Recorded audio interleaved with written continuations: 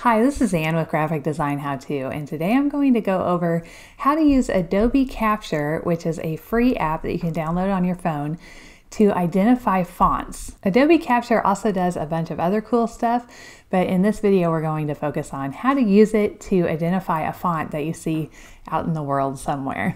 All right, let's get started.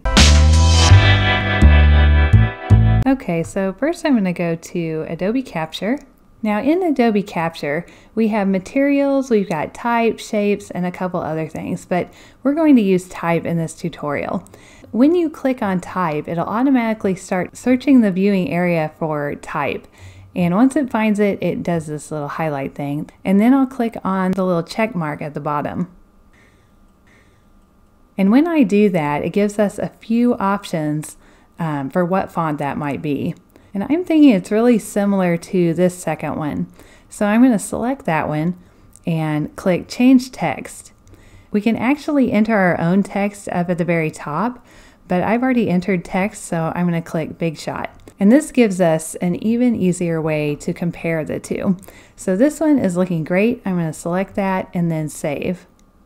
And I'll choose My Library and just click that and save. Okay, so the next thing I want to try is a book. And I want to go for this text right here. Now my finger's in the way, so I'm going to redo that. This element text is the one I want, so I'm going to select that and then hit the check mark at the bottom. And it comes up with alternate Gothic number three, which looks pretty good to me. So I'm going to save that, choose my library, and save. And now the last thing I want to try is a piece of mail that I got the other day. I want this upgrade text. It automatically selects it and I choose which one I want and then hit the check mark at the bottom.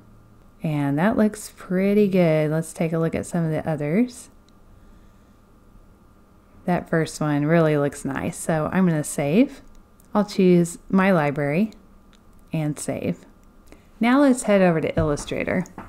I'm going to open up my libraries, window libraries, and I save these in my library, so I'll just click that. Now I'm going to hit T to type just hello. I'll get back on my selection tool and hold shift and grab a corner and just make this a little bit bigger. Then I'm going to start dragging and hold shift and option or shift and alt on a Windows machine to make a copy and I'll hit Command D or Control D to make another copy the same distance away. Okay, so I'm going to click on this first one and I'm going to go to the library I saved them in. You can see them right down here. So I'm going to click on Type 1 and it automatically will change that to the font we saw from Adobe Capture. Here's that second type and here's the third. I'll make these a little bit bigger. And I'm going to change the case of these two so I'll go to type, change case to title case. And I actually took photos of the three so we can compare them here. So I'm going to paste those in now. And I'm just going to change the words to match the words from the pictures. So I think that this one is exactly the same font and this one also looks to be exactly the same font, but we can see that the B is a little different here. So this one didn't get the exact font, but it's very, very close. So when Adobe Capture uh, identifies fonts, it's using Typekit, or actually Adobe Fonts, I think is what it's called these days.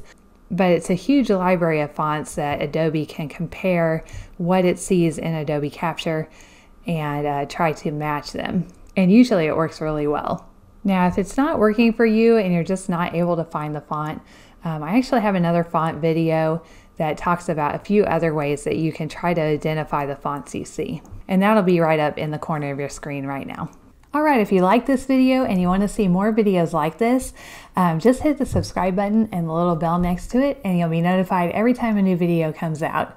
All right, I'll see you in the next video. Thank you.